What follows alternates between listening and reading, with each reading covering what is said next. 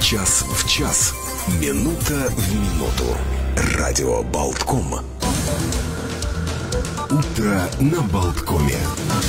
Да, мы тут возмущаемся, что не оборвалась песня на самом интересном месте. Ну а вот да. интересно, кстати, вот если Только песня подпевать начали, не успела, если она не успела прозвучать на радио полностью, сколько получит э, исполнитель и автор музыки? Полную сумму за или все-таки 50%? Ай, коварные вопросы. Вот сразу и спросим. У нас ведь э, на связи исполнительный директор Лайпа Лена Грина. Мы договорились о том, что каждый будет говорить на э, комфортном ему языке. И э, доброе утро, Лабрейт. Доброе утро, Лена. А, Госпожа Грина является исполнительным директором Латвийского объединения исполнителей и продюсеров. Да, так вот сразу вопрос. А Действительно, если песня не успела прозвучать по радио до конца, автор получает э, свои отчисления или нет? Labrīt, jā, paldies par jautājumu. Protams, ā, dziesmas ā, atskaņošanas ilgums tiešā veidā ir saistīts ar atlīdzību, ko saņem gan autors, gan izpildītājs. Un aprēķinot tieši šo atlīdzības maksu, tiek ņemts vērā ā, dziesmas atskaņošanas ilgums, cik sekundes šī dziesma skanēja. Tad, neskatoties uz to, ka jūs atskaņojat visu dziesmu vai atskaņojat desmit sekundes, tāpat tās autors, izpildītājs un producents saņems atlīdzību par šo dziesmas atskaņošanu jūsu radio. Так, Ну, мы господин рады. Золотарев, уважаемый звукорежиссер, мы... контора денег заплатит за эту песню. Можно Все было равно, да, можно было послушать. за- да, все равно заплатили, так могли бы и послушать. Ну ладно, смех смехом. На самом деле а, отправной точкой, причиной нашей сегодняшней такой вот виртуальной встречи с э, Леной э, исследование, э, которое про, про, про, провело Лайпа а, в сотрудничестве с Центром со- социологических исследований «Кантар» о потреблении латвийцами музыкой, о том, что мы слушаем э, э, стилистически, на каких платформах, на каких носителях, в каком возрасте какие вкусы у нас меняются, и как на потребление музыки отразились э, ковидные а, различные ограничения и условия. Ну и, наверное, может быть, мы бы попросили вот э, рассказать подробнее э, нашим слушателям, каким результатом пришли вы в результате этого исследования. Действительно, повлиял ковид на вот прослушивание музыки? Стали больше слушать, меньше? Как, как бы изменились вкусы слушателей? Jā, paldies. Mēs, protams, pētot šos mūzikas paradumus un kādā veidā sabiedrība izmanto mūziku, ā, skatījām arī jautājumu par Covid ietekmi un mūzikas klausīšanos Covid laikā. Un ā, 11% ā, aptaujāto norādīja, ka mūziku patērējuši vairāk tieši Covid periodā, Un, kopumā mēs redzam, ka no tiem 11%, kas arī vairāk šo mūziku ir patērējuši, tie galvenokārt ir iedzīvotāji vecuma grupā no 18 līdz 29 gadiem. Pārējās vecuma grupas mūziku ir klausījušās nemainīgi, bet tā lielākā izaugsme tieši ir jauniešu vecuma grupā, kur mēs redzam arī šos 11%, uh, kas mūziku ir patērējuši vairāk. Да, на- вот у меня был вопрос, когда я смотрел результаты исследования, по какому принципу все-таки делилась музыка по жанрам, потому что э, вот меня удивило, что есть и поп-музыка, и есть отдельно вот шлагер-музыка. Вот э, чем отличаются вот эти два О. понятия? Вот как, вот, ну, я... Šis ir ļoti labs jautājums. Mēs arī mūzikas industrijā ļoti bieži diskus, diskutējam, kas tad ir šī popmūzika vai kas ir šī populārā mūsdienu mūzika. Un, protams, mums ir jāsaprot to, ka šie žanri un žanru daudzveidība savā starpā pārklājas. Bet, ja mēs gribētu tā nodefinēt, kas tad ir popmūzika vai mūsdienu populārā mūzika, tad, tā ir tā mūzika, kas galvenokārt tiek atskaņota un spēlēta radiostacijās. Tā ir tā saucamā mainstream mūzika, ko tad arī mēs varam klausīties visur sev apkārt un arī redzam šo konkrēto žanrisko piepildījumu arī mūsu nu, Latvijas sabiedrības interešu lokā. А вот если э, говорить про рок-музыку, туда включается э, тяжелый рок или все-таки то, что, например, э, там группы Beach Boys, э, ну то есть, ну там группы 60-х, которые сейчас, в принципе, воспринимаются скорее как, э, ну, попса. Легкий- легкий Лег- рок-н-ролльчик. Такой рок, лег- да, а под роком вот подразумевается ли обязательно, что это должно быть что-то Deep Purple, э, Оззи Осборн, или это может быть музыка полегче? Nu, tā kā katrs aptaujātais in, um, individuāli vērtē šo roka mūziku, tas, protams, ir atkarīgs no katra cilvēka atsevišķi. Bet par roka mūziku, es domāju, mēs saprotam tiešām kas, kas, kaut ko tādu, kas jau ir uh, nedaudz tāds, uh, kā tautas valodā saka, smagāks un, un, -hmm. un uh, vairāk roķīgāks. Es domāju, ka uh, tas, kas mums uh, šobrīd uh, arī parādījās aptaujā, kad roka mūzika ir uh, tiešām uh, populāra. Um, vīriešu dzimumu pārstāvju vidū, kas galvenokārt uh, ir vecuma grupā no 29 un uz augšu, kas nozīmē to, ka uh, visticamāk ar roku mēs arī saprotam roku tā vārda patiesajā izpratnē. У нас между тем звонки, да, 67-212-93-9. Доброе утро, здравствуйте. Доброе утро. Здравствуйте. У меня вопрос к вашей гости. Э, вот я любитель группы Beatles, фанат. Э, почему никогда не транслируют группу Битлз в каком-то исковерканном виде, в другой тональности, в другом ритме? Подождите, а где? Почему нельзя оригинальную запись? Э, молодое поколение вообще не знает и не узнает гениальных этих музыкантов. Хорошо, что у меня есть магнитофонные записи, я их слушаю. Э, вот пусть ответит, переведите, пожалуйста, мне на русский. Почему не могут оригинальные записи Битлз?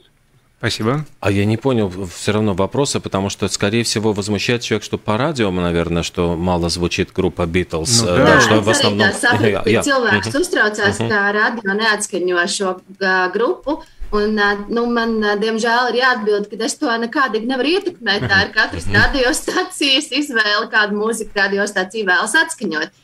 Bet labā ziņa ir tā, ka klausītājiem es varu ieteikt visus Beatles šos ierakstus var atrast straumēšanas servisos, mm -hmm. gan Spotify, gan Deezer, gan arī citos. Ir pieejami visi albumi, kurus var klausīties labā kvalitātē un uh, par uh, mēneša abonentu maksu, kas ir uh, 6 līdz 9 eiro, ir pieejam, pieejams ļoti plašs mūzikas klāsts. Слушайте, просил перевести ему ответ, поэтому в двух словах, да. А наша гостья Лена никак не может повлиять на выбор радиостанциями, то, какую музыку а, ставить в эфир, но а, говорит, что можно же слушать на различных современных стриминговых так называемых сервисах Spotify и прочих, там абонентная плата, но более расширенно, конечно, я согласен с, с коллегом Олегом, ну, в том числе на наших радиостанциях Битлз звучит. Вы просто... Вот сейчас вы слушаете правильную радиостанцию, а в остальное время, слушайте, ну, э, придерживайтесь нашей микс-медиа группы. Здесь Битлз есть, причем в оригинале, э, в том числе. Да, э, Лена, возвращаясь к, к вам, действительно, к этому исследованию, к данным, а вы сами затронули вот этот вопрос современных различных площадок. Насколько распространены в Латвии, насколько популярны да, вот эти современные решения потребления, поиска музыки? Стриминговые, да, да сколько, как, как можно оценить э, в числах, в количестве аудитории, в тысячах или в суммах?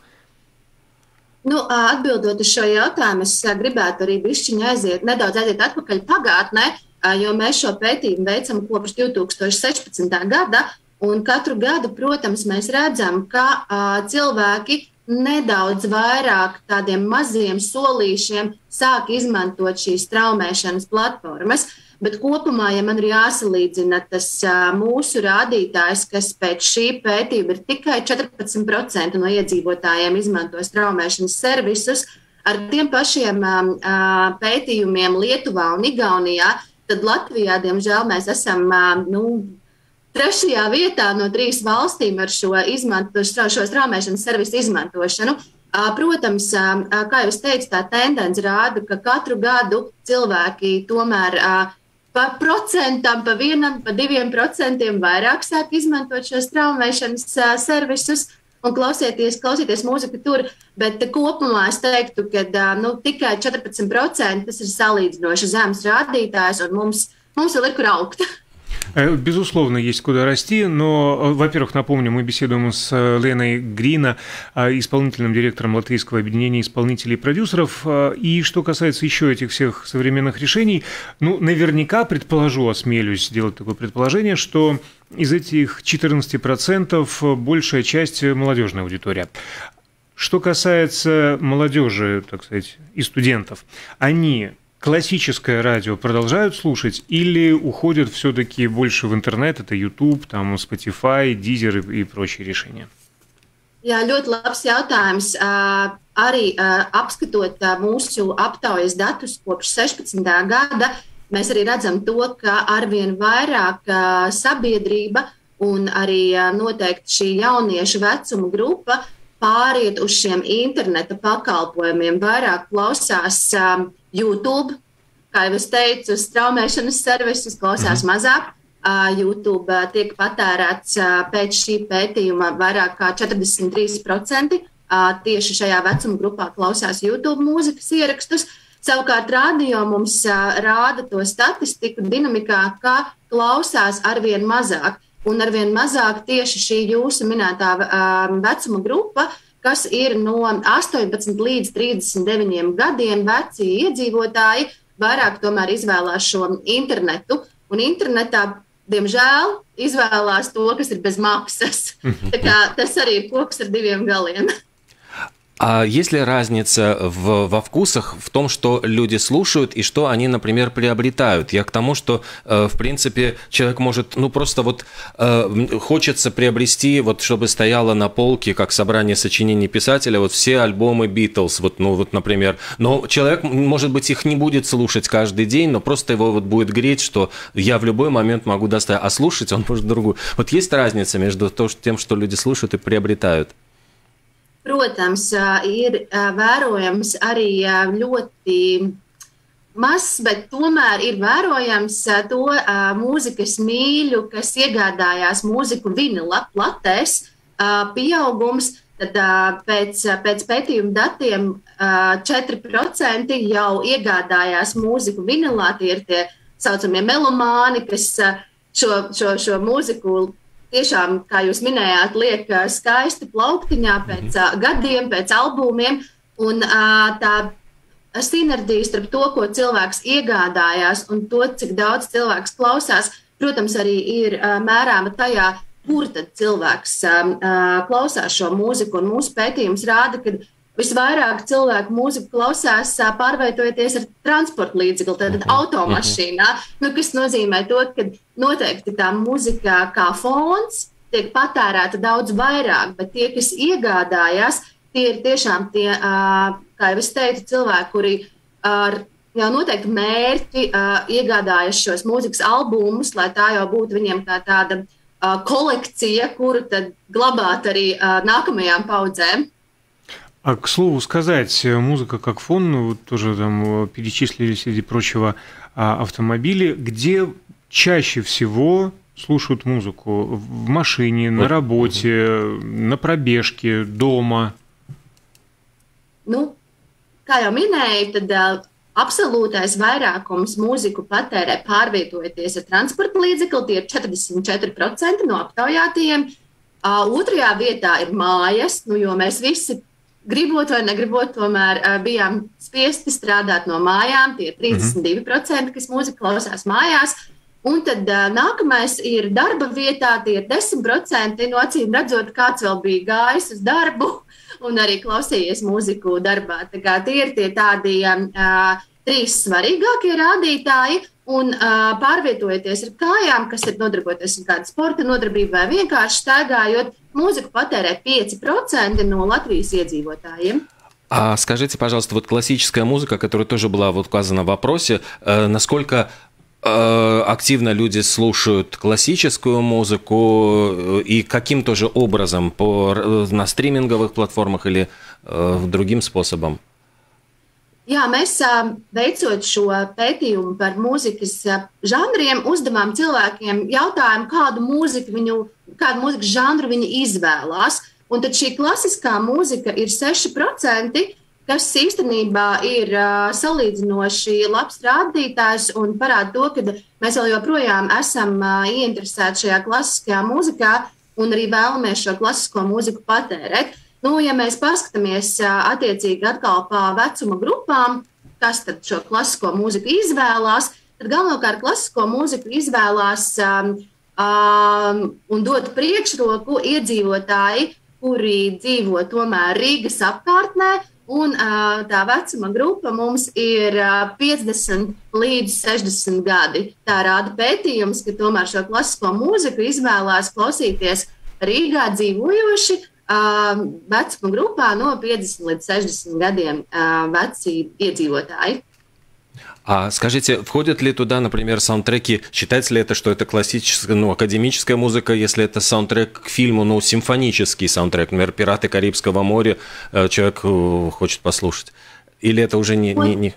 Noteikti, jā, tas arī tiek uzskatīts uh -huh. par klasisko mūziku. Tā kā klasiskā mūzika ir tāds apvienojums ar akadēmisko kora mūziku uh -huh. un arī šo filmu mūziku, ko jūs minējāt. Jā. У меня еще просто один такой вот э, действительно вопрос, который меня всегда мучает. В равной ли степени получают, ну, вот равен вклад музыканта, композитора и поэта, если мы говорим про песню, а получают ли они в равной степени, или кто-то считается главнее, а кто-то нет? Runājot par šo konkrēto atlīdzības izmaksu, tad, protams, mēs saņemot informāciju no radio vai no kāda cita mūzikas patērētāja, Pirmkārt, vērtējam to, cik bieži un cik ilgi konkrētais skaņdarbs ir atskaņojis. Un, attiecīgi, jūs prasat par šīm daļām, tad galvenais izpildītājs solists parasti saņem nedaudz vairāk, mm -hmm. tie ir seši punkti, un tie, kas ir pieaicināti vai studijas mūziķi, tiem ir viens punkts, un šī atlīdzība tiek aprēķināta no šī konkrētās summas kā viena punkta vērtība. Savukārt autors, komponists, dzēnieks saņem vienādās daļās, jo uh, autors, kā šīs konkrētās kompozīcijas radītājs, tomēr vienmēr tiek uzskatīts par prioritārāku. Так, у нас есть еще минутка, у нас да, просто примем, разрываются примем. звонки. А, здравствуйте, доброе утро, пожалуйста. Доброе утро.